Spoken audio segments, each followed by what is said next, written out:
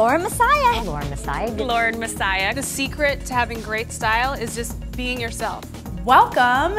You are here in this incredible program where you are going to learn exactly how to become a personal stylist. Personal styling is an incredible career. I've been doing it for the past eight years and some change. Wow. And it has been such an incredible experience for me. I started off being completely clueless on how to start my own business as a personal stylist. I got a few clients and I just dove right in.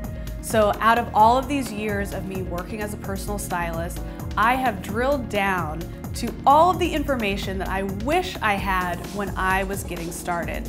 So you're going to learn exactly how to set up your business. We're gonna get your creative juices flowing so you can come up with the best packages, the best pricing, and the best way to find clients. So let's jump right in and get started.